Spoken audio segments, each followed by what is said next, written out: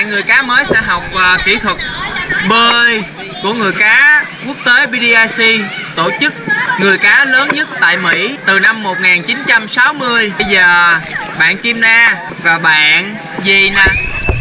Hai bạn đã sẵn sàng chưa? Sẵn sàng chưa? Mắt kính đeo bên phía tay trái nha. Rồi Kim Na đeo lên trước cho bạn coi bắt trước làm theo. Đó. Đúng rồi. Vừa không? Rồi. Tốt lắm. Hai bạn người cá sẵn sàng chưa? Một, hai, ba. Tốt lắm. Rồi chứa nước vô. Cùng một lúc. Làm động tác đều nhau như vậy rồi. Nâng lên đưa lên miệng cùng một lúc. Ngậm vào. Tuôn đếm Một, hai, ba. Thổi mạnh ra.